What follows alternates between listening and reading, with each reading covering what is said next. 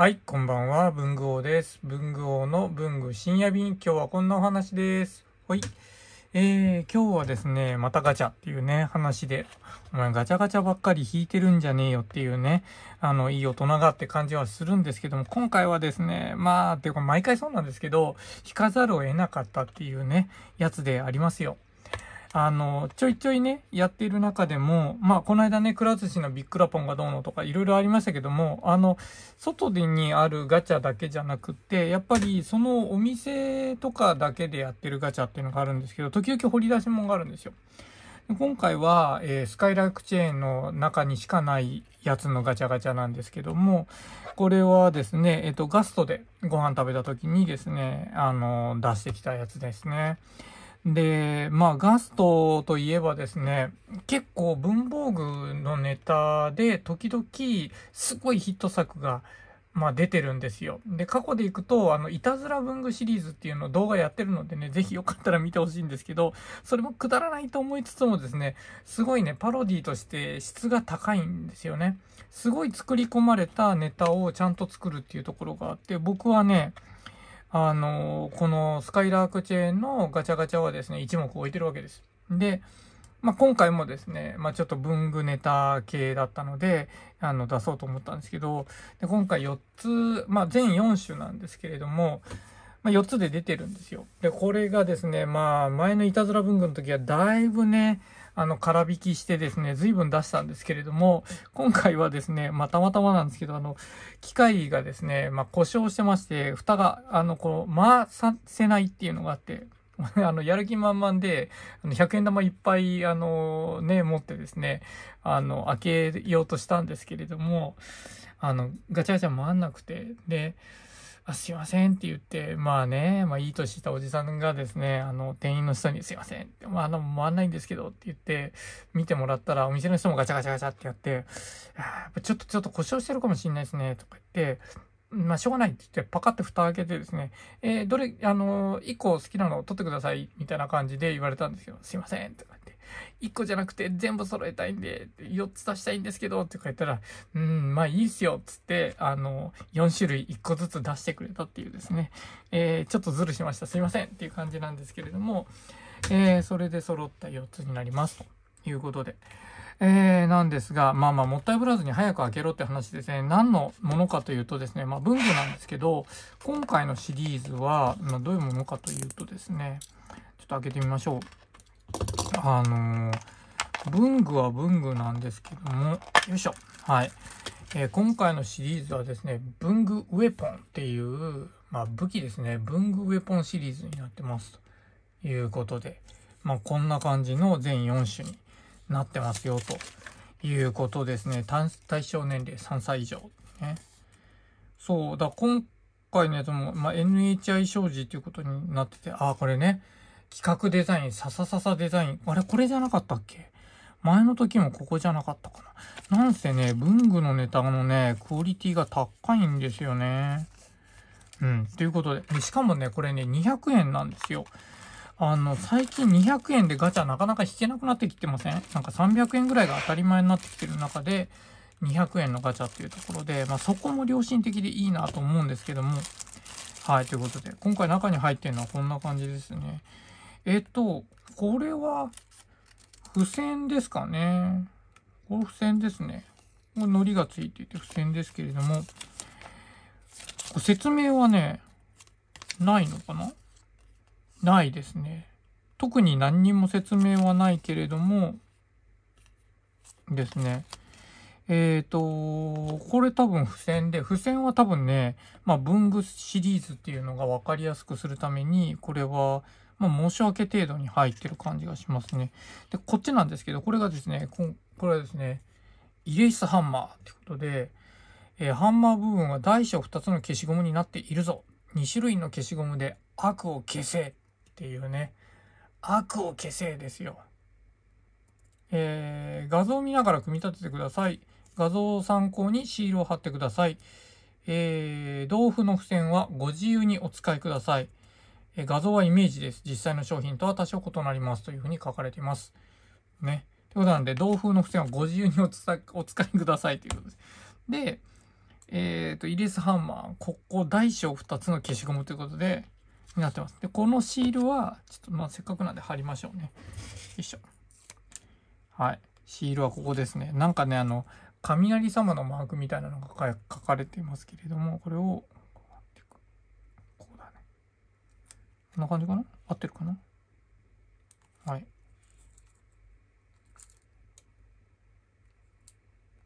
はい、ということで。シールも別に全然難しくない簡単な感じですけども、こんな感じですね。で、ボールチェーンがついていて、えー、いろいろぶら下げられるようになってますということで。ね、イレースハンマーですね。これ消しゴムになってるんで、ここで消せっていうことなんですけど、消えるのかな？ちょっとあれですね。なんか気になるので、ちょっと。こうやって書いてですね。えー、書いたところをですね。イレースこのね、周りのトゲトゲが邪魔でね、あの、そっちが先に当たるね。まあ、一応ちゃんと消えますね。ということで、えっと、ちゃんとあの、ただの、えプラスチックの塊じゃなくて、ここがちゃんと消しゴムになってますね。ということで、イレースハンマーってことですね。これ良くないですか？割と、なんかね、あの、文具ウェポンなんですけど、まあまあ消しゴムはね、まあ何でもいけるかなという感じですけども、ちょ、じゃあ次行きましょうか。次ね。はい。これです。はい。えー、次のやつもですね、開けると中からシールと、こう、晴れっていうシールですね。あ、なんか、シールが他のとこにくっついちゃってる。ちょっと、こっち気をつけないと。このね、セロテープで貼ってあるのがやっぱりちょっと嫌ですよね。しかもこのセロテープが無駄に接着力が強い。はい。ということで、これですね、シールと、あと、入っているもの、出しましょうか。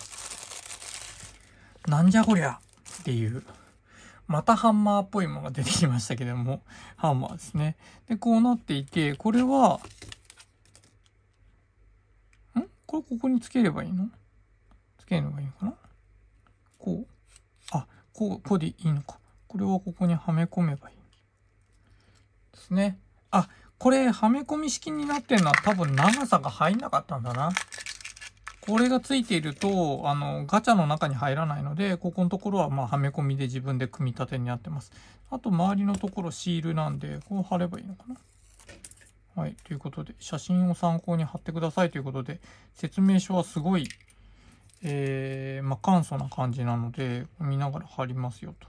どっちが前とか多分ないですね。なんで適当に貼ります。これ模様とかにも多分向きはないね。はい。ということで、これを一周回してあげれば、はい、出来上がりということで。まあまあ、シールはまあおまけぐらいですね。で、これ何かというとですね、えっと、メジャーメイスっていうことですね。まあ、あの、棍棒みたいなものなんですけれども、えー、ミス部分を引っ張ればメジャーとして使えると、あ、ね、メジャーで間合いを測れですよ。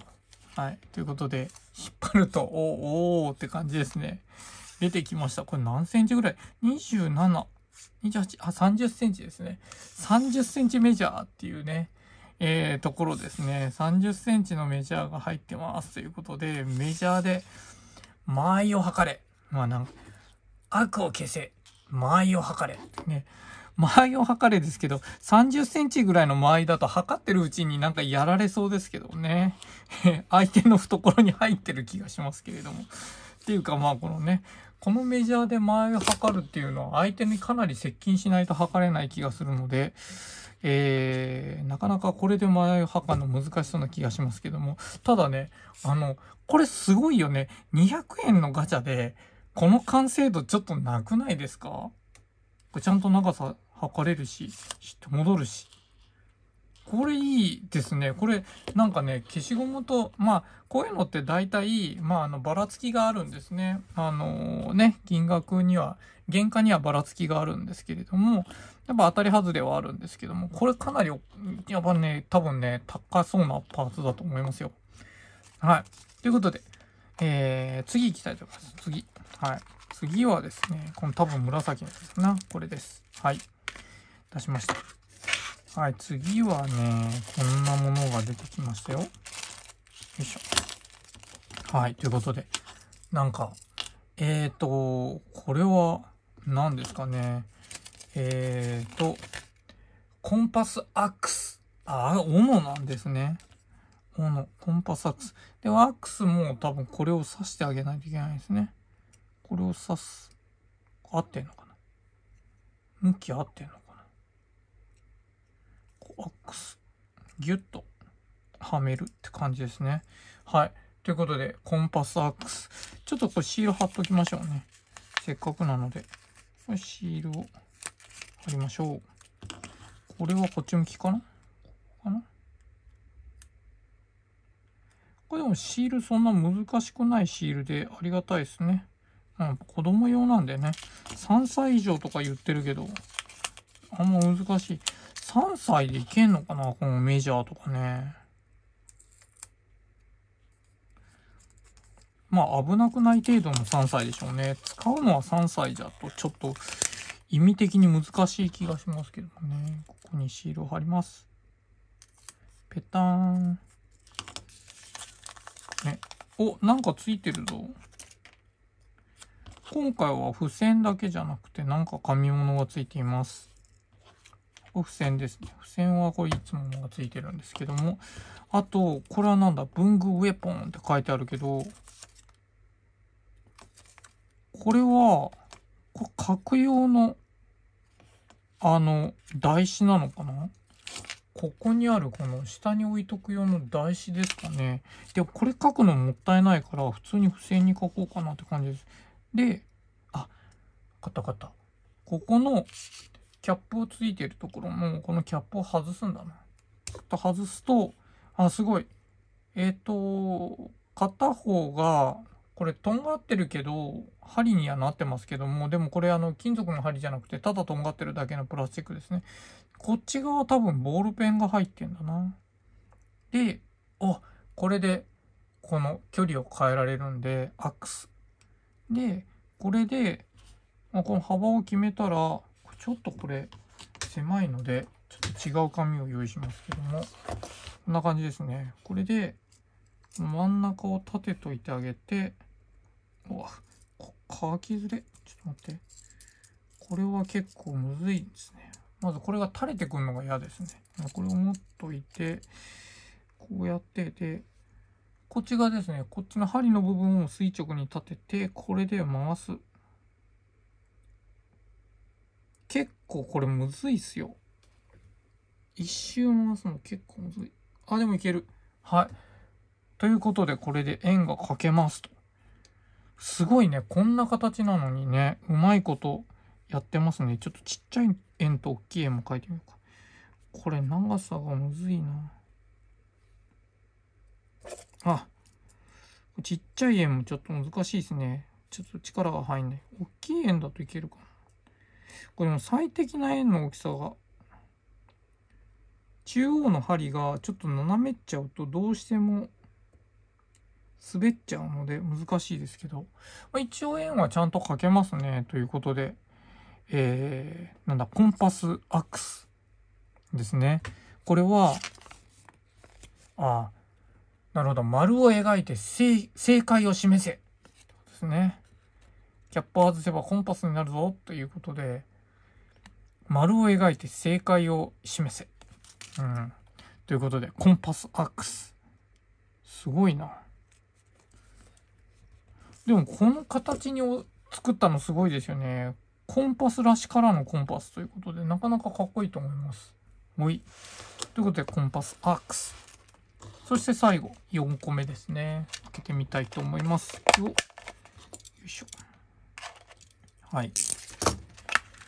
パカ。はい。4個目出てきたのは、えー、ダブルペンソードですね。はい。どんなものでしょう。あ、ダブルペンソードも、これ文具ウェポンの紙入ってる。あ、角系のものだから入ってんのかな？って感じですね。で、ダブルペンソードもまたシールがついてるので、とりあえずシール貼るっていうのと、あとやっぱ長さが余る部分は、このパーツをね、はめ込むようになってるわけですね。こうやればいいのかな。ガシッ。いいですね。いい。この造形はかなりいいですね。ああ、ソード。で、で、ここが多分キャップを外すと、よいしょ。はい。あ、ダブルペン、ダブルペンソードですよ。で、これちょっとちょっと先シール貼るね。これはかっこいいな。ダブルペンソードいいじゃないですか。よいしょ。よいしょ。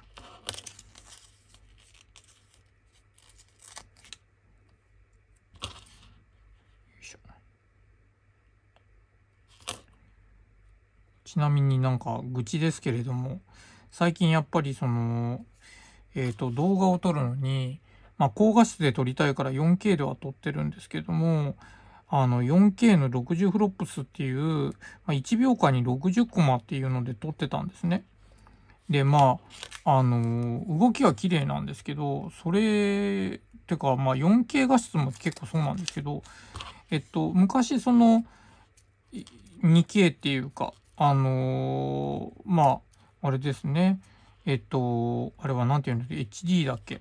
で、あの、2K の画像で撮っていて、えっと、30フロップスとか24フロップスで撮ってたやつを、あの、4K60 にしたら、やっぱ画像は綺麗なんですけど、あの、データ量が半端なくでかくなって、ちょっとね、あの、編集とかが滞るようになってしまったんですよ。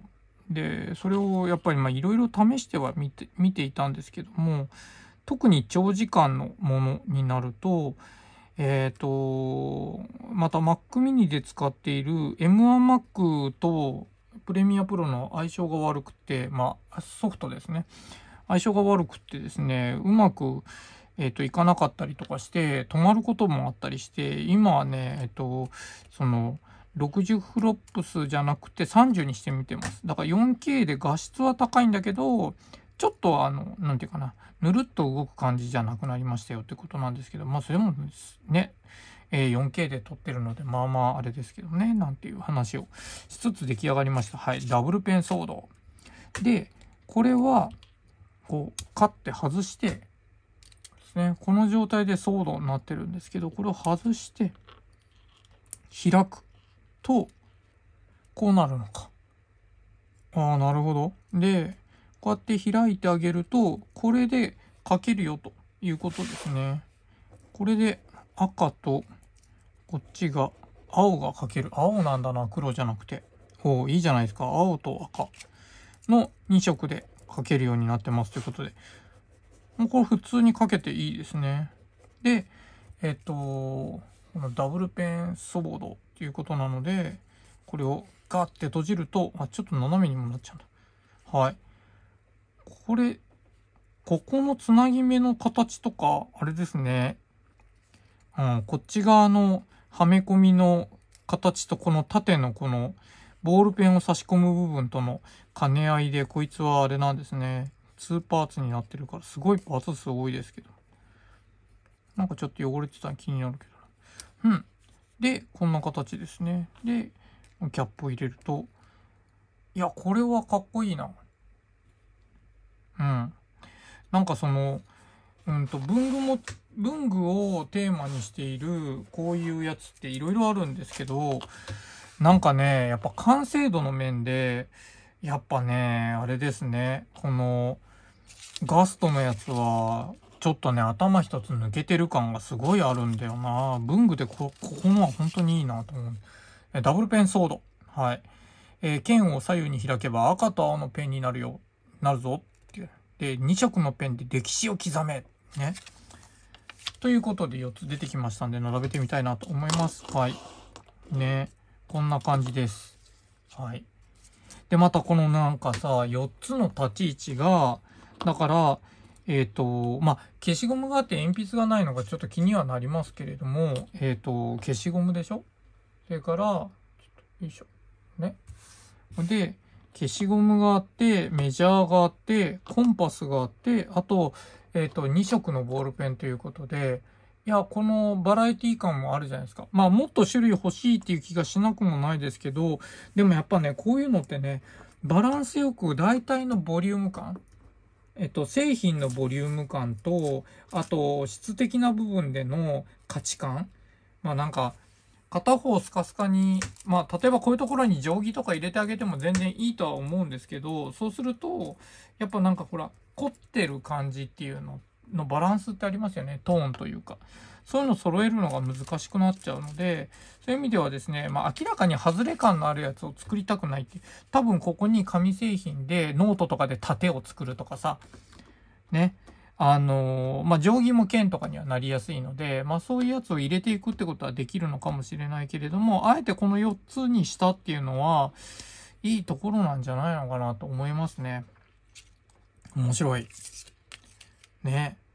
多分前回のやつもささささデザインだったんじゃないのかなと思うんですけども、そんな気がします。ここほんとクオリティ高いよね。ということで、今回も大満足の4種類ですけれども、えー、すごいなと。ね、特にこの、このメジャーメイスとか、かっこいいですね。イレイスハンマー消しゴムですね。で、ね、それもこの消しゴムも2箇所で太いところと細いところが消せるっていうこのね、あの、角消し的なね、発想もなかなかいいじゃないですか。で、えメジャーメイス。相手との間合いを測れ。だ2種類の消しゴムで悪を消せ。えー、メジャーで間合いを測れ。で、丸を描いて正解を示せ。そして、2色のペンで歴史を刻めということで、もうなんかね、この4つのアイテムのストーリー感、そしてこの色の配色と、あとこのね、今回造形がすごくいいですね。うん。このコンパスのデザインとか剣のデザインとかほんと秀逸だなと思うんですけど、うん。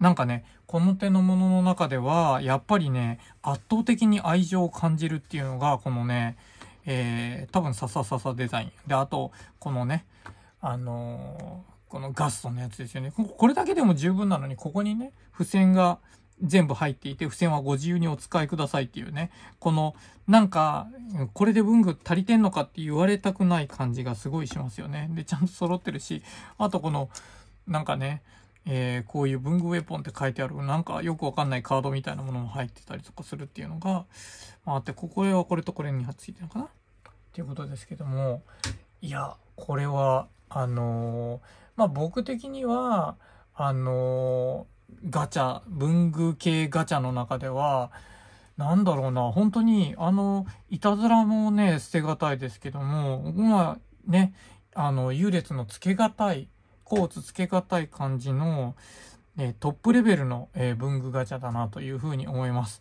まあ、この間のね、おにぎりとかもいいんですけれども、うん、なんだろうな、細かいところまでの作り込みっていうところの愛情っていうところでいけば、いやーなんかね、すごいいいと思います。こういうのってね、なんかほら、あの、ね、あの、おにぎりの方がどちらかというとちょっとおしゃれじゃないですか。なんで、まあなんかデザイン系のところとかだと話題になりそうですけど、なんだろうな、僕は圧倒的にこのね、あのー、ここういうほら、この模様とかのデザイン最高に良くないですか？こういうデザインができるところってすごいなと思うんですよね。このちょっとおどろおどろしい感じのこの装飾のついてる剣とかさ。うん、っていうことなんで、もう本当に、えー、まあなんか文具系ガチャとしては、で、これで200円でしょ？もう文具系ガチャとしては満点あげたいっていう感じです。ということで、うん、なかなか良かったっていうね、えー、まあ、ただそういう開封なんですけれど よくないですか？が、まあ、あの、ガストに行って、えー、気が向いたら回してみてくださいということで、回さねえか。まあでもね、えー、こういうものもあったりしますよということで、えー、ついつい、え集めてしまう文具系、えガチャのお話でした。今日はそんなお話です。以上です。おやすみなさい。